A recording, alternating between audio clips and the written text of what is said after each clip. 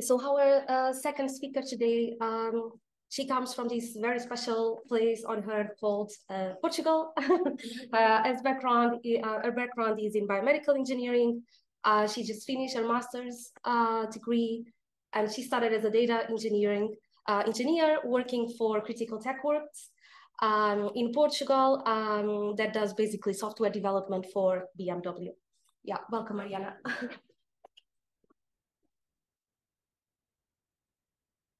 Um, hello everyone, so today I'm presenting you the project I did in my dissertation, my master dissertation, which is development of a natural language processing multilingual model for summarizing radiology reports. So about me, as Inês uh, has told you, I come from Portugal, uh, Viana do Castelo city, a small city in the north of Portugal. I just finished my master thesis and now I'm working on critical uh, tech works. Uh, First of all, I would like to thank very much Inês for her invitation and for being here. And if you have any question, please feel free to uh, interrupt me. So about today, uh, I'm just going to start with a small introduction, uh, presenting uh, my motivations, then present to you the research questions, also, also the data sets I used uh, in the process, the methods I used, main results, and then conclusions. Uh, so, uh, as probably some of you uh, already know, radiological examinations are communicated in the form of radiology reports. And usually the radiologist first detects the most uh, or the detailed results and then prepares a final summary with the most important observations. However, radiologists often have difficulty in accurately documenting critical findings in the summaries for example, due to forgetfulness. And we also know that summary writing is time consuming and also a monotonous task. Um, so to facilitate data mining techniques and the development of deep learning multimodal uh, models that attempt to use data from patients of different uh, ethnicities, uh, the goal is to develop then a summarization model here that has a multilingual uh, character so um, because it has not yet been uh, developed. Uh, such a model, of course, would help uh, very much, not only in reducing the stress and workload of radiologists, but as well as uh, building those multimodal models that can be not uh, biased uh, by patients from only one ethnicity. Uh, regarding the research questions, so uh, I have three main ones. So the first one is if is it possible to develop a model that can summarize radiology reports in different languages, because this has not been done so far. And if so, what is the best architecture to solve the problem? Then are the word embeddings of similar words the same in different languages? And does using structured reports to train the model produce better results than using unstructured reports? Uh, so here we have the data sets uh, I used uh, in this project. I start by using uh, here, I don't know, I think you might be able to see because I can't point to both screens. Uh, so here I start by using the multilingual Amazon review corpus, which contains review about Amazon products in different languages, but in this case, I only use the ones that were written in English. Then I also use the Mimic chest X-ray dataset, um, which comes in English and is publicly available. Uh, and as you can see, we have here four versions. So I used an unbalanced version, then a balanced version, balanced version with the words uh, separated because I found out some of the reports, or most of all actually, uh, had um, the words that were concatenated. And then uh, the one that uses separation of words a balanced data set and also that uses meta information. And what is that? Uh, so here we have uh, a radiology study and the reports from the mimic chest x-ray are pretty much all like this. So it has the x-ray itself and then the associated report. As you can see, the report has several sections, but these are filled with free text. So we have a semi-structured report. Uh, in these three cases, the input is a finding section, and the label is the uh, impression, which is here that uh, you can see, you can uh, not read impression. Uh, but in this case, the input is not just the finding section, it's the findings, and it's, in this case would be indication and comparison. So all the other meta information that is present in the report, but the label would still be um, the um, impression section. Um, I also translated the dataset to Portuguese, this one. Then I used the Indiana University chest X-ray dataset, also publicly available, but I translated to Portuguese. And then at last, a German radiology report from a, a German uh, hospital that contains reports of uh, all in German. Uh, before moving on, I think I, I just want to uh, share with you some uh, basic concepts uh, starting with natural language processing, NLP, whose goal is to mimic language, processing similar uh, to humans. And it's used for various tasks, such as generating text content or generating a new sentence from an input text, for example, when summarizing or uh, translating a text. To solve these tasks, um, the most uh, usual and common uh, use network is uh, Transformers, which is a neural network that learns the context and meanings of words. And to do so, they use word embeddings, which are just numerical vectors that represent the semantic meaning of a word although uh, these word embeddings do not um, have in account the relationship between different words in a sentence.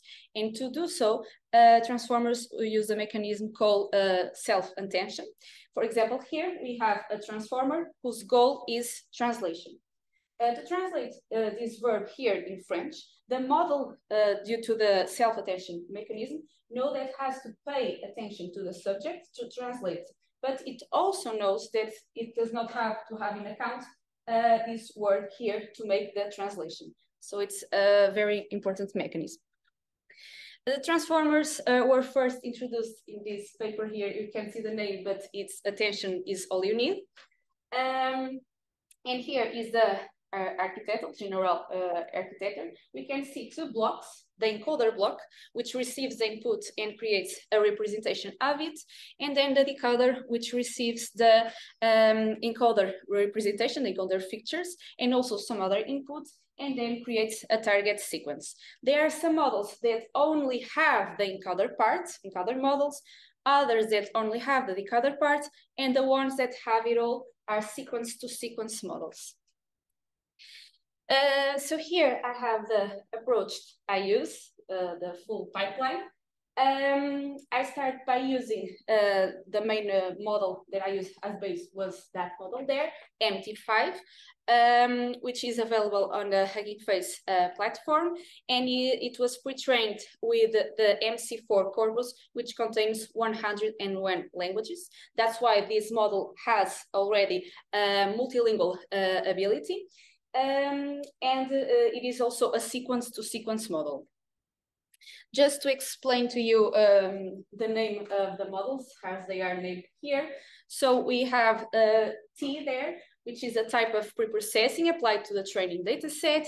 TL, the target language or languages for which the model was trained, and then P, which is uh, the purpose for which the model was trained and can be base if the model used was the base version uh, you in the Hugging Face platform. Summaries if the model was trained for summarizing texts.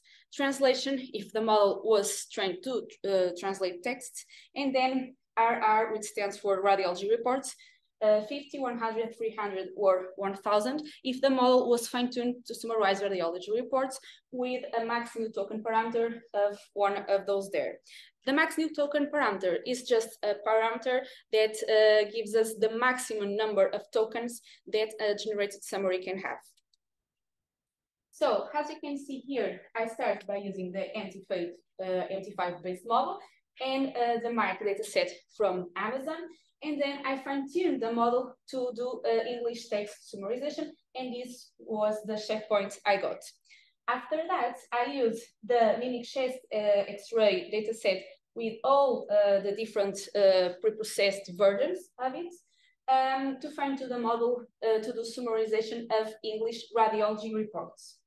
And as you can see, those models here are the ones that uh, I got. Some are dashed because they uh, had very bad uh, qualitative results, as you will see later. So they were not used as future checkpoints. So the only ones that were used are this one and this here. So the next step was to fine-tune the model to do um, Portuguese uh, fine-tuning, uh, fine-tuning of Portuguese radiology reports. Uh, first of all, I tried to use reports from a Portuguese hospital, but the reports were pretty much uh, all the same, and my model were very, was very um, overfitted. So I had to find out another strategy. So uh, since I had the Mimic chest X-ray dataset, I translated the dataset into Portuguese and I use it uh, to fine-tune the model uh, for the translation of English to Portuguese radiology reports. And why to do this? Uh, for the translation process of this dataset here, I used the Google Translator uh, library. However, the process was very time consuming and we also know that uh, the Google Translator cannot be used for translated um, private data sets due to uh, patient confidentiality uh, concerns. So, and having in consideration that MT5 is a sequence to sequence model, I use it not only for summarization, but also for translation. And that's why I created a checkpoint for translating uh, radiology reports. And now I can translate any uh, private data set uh, that I have. After that, I used so this checkpoint model here and here, and I created the Portuguese version of the Indiana University chest X-ray datasets. After that, I was then able to do the fine-tuning to summarize Portuguese uh, radiology reports, and then do the same with the German uh, dataset, and this was uh, the checkpoints uh, I got. So far, uh, all models are monolingual, but that was not the point of my project. The point was to get a multilingual model. And to do so, uh, I developed uh, a model from the fine tuning of this final model here uh, in German, which was each is able to uh, summarize radiology reports in Portuguese, English, and German at the same time by um, fine tuning it with the three data sets at the same time, and of course in the same proportion to avoid overfitting uh, to one language. Uh, before presenting you the results, I just want to talk about a bit uh, the metrics that I use. So to evaluate the um, summarization tasks, the Rouge metrics were used, which basically will evaluate the similarity between the generated summary and the one produced by a radiologist based on n-gram overlap. And then for the um, translation task, I use the Sacre Bleu metric, which evaluates how close the translations are to their labels. Uh, here we have the quantitative results. And as you can see, these three models here that the, were trained with the non-balanced dataset uh, had the best quantitative results. Um, that was kind of what I expected because all the pretty much all the uh, reports had the same summary and it was easy for the model to predict the summary. But this does not mean that these models, these models learn better than the others. They just were more likely to find a report with the most common impression and generate a summary that would overlap 100% um, with that uh, impression. After that, uh, we can also see that these two models here, the V2 version and the meta information version, uh, in, in comparison to the English language are the ones with the best quantitative results, which apparently shows us that separating words and using meta information seems to uh, improve the ability uh, for the model to produce better summaries. Uh, and we can also see the same that happens in Portuguese with the V2 version and um, in German. Uh, here you cannot see, unfortunately, uh, but uh, the multilingual uh, model has also the best overall uh, quantitative results in comparison to the monolingual models.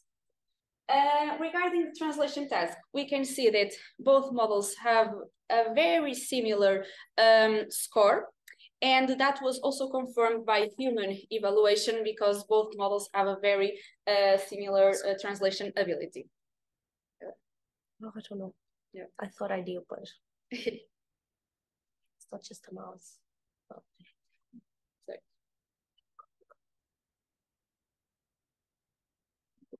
It's just a mouse, but.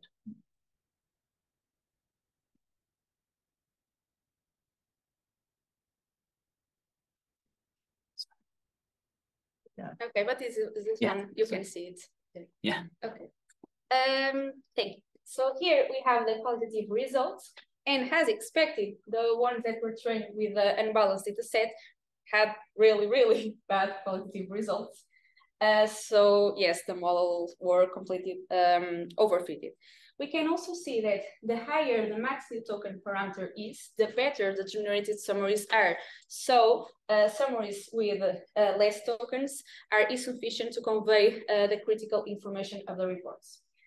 We can also see here um, that the models that have the best results are the ones with um, the trained with the balanced data set, 1000 max new token parameter, and that were not V2 or meta information version. For example, here in the English language, 66.67 uh, of the generated summaries were equal to or better uh, than the reference summaries. Um, whether this value for, for example, the V2 version was only 53.33%. Uh, this analysis was performed by two radiologists which were asked to classify 30 generated summaries and 30 um, human writing summaries, but they didn't know which was who. Uh, and they had to say if they had the same quality uh, one and another, or if one was better than the other.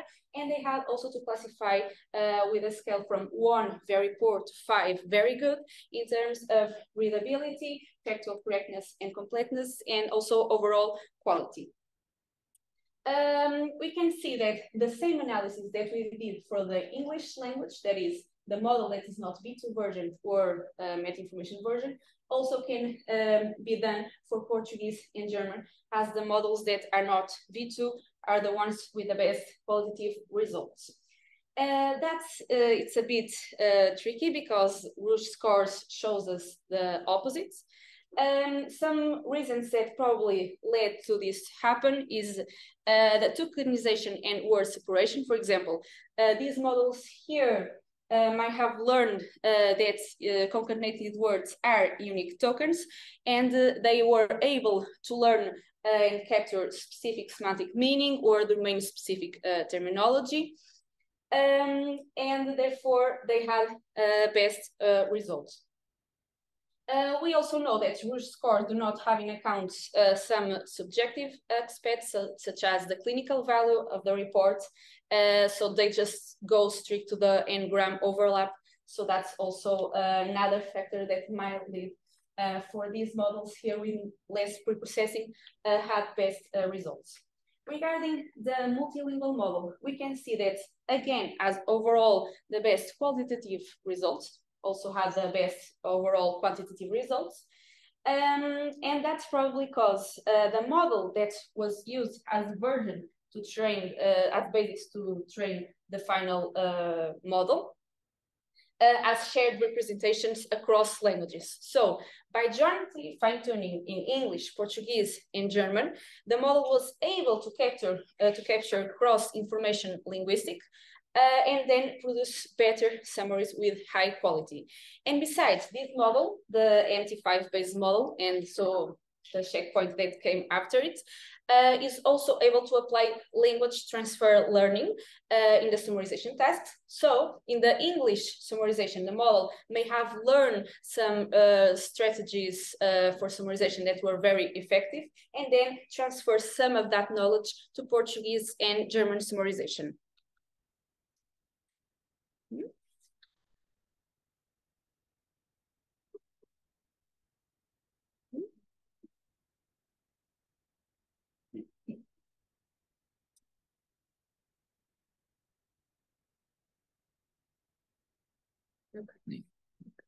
Uh, thank you.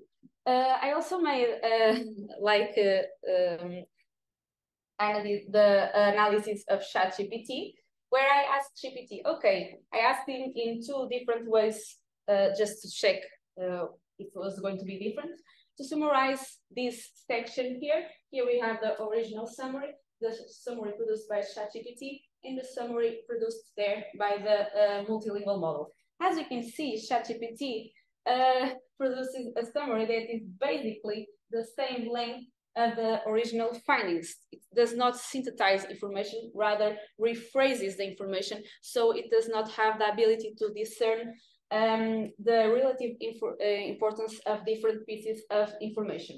We can also see that the original summary and the one produced by the model are very much uh, the same, uh, which is expected since this model was um, fine-tuned specifically uh, for um, summarization tasks of radiology reports, and ChatGPT is not uh, a good idea, as we can see here. Uh, so to conclude, and answering the first question, I can say yes, the, uh, the answer is yes. Uh, so usually in the summarization tasks, transformer-based architectures are the most used. Um, and in this case, I use the MT5 base model uh, due to its multilingual ability. And the results proved us that the multilingual model is better at producing high quality summaries than using several monolingual models. Uh, and also it's better than ChatGPT as we were uh, also able to see. Are the word embeddings of similar words the same in different languages? No. Uh, so transformer-based models use a random uh, initialization of the weight matrix and will refine these weights uh, during the training. Uh, so they will learn their word embeddings for each word independently. And uh, at last, um, with my study, I also conclude that using structured reports is going to be easier because we don't have to go to much pre-processing. We already have a label and the impression. We don't have to apply so much data mining techniques to find one. Um, so it is harder, but both approaches are possible and if well done, uh, can lead to the same results. And thank you very much for your attention. I really appreciate uh, your time and I would love to hear your feedback.